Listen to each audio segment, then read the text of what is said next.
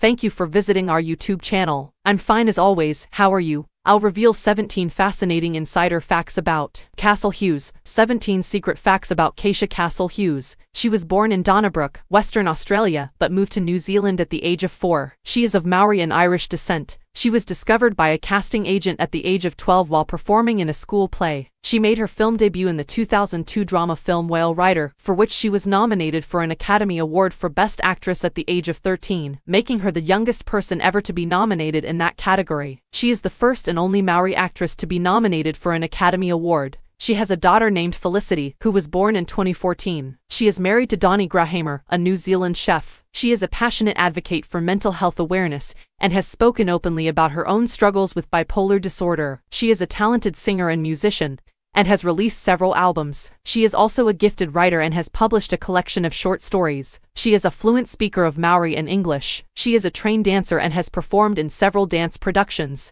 She is a passionate environmentalist and is involved in a number of environmental organizations. She is a supporter of LGBTQ rights and has spoken out against discrimination. She is a role model for young Maori women and has inspired many to pursue their dreams. She is a private person but is also very active on social media, where she shares her thoughts on a variety of topics. She is a talented and versatile actress with a bright future ahead of her. Thank you for watching. Love you all. See you in next video.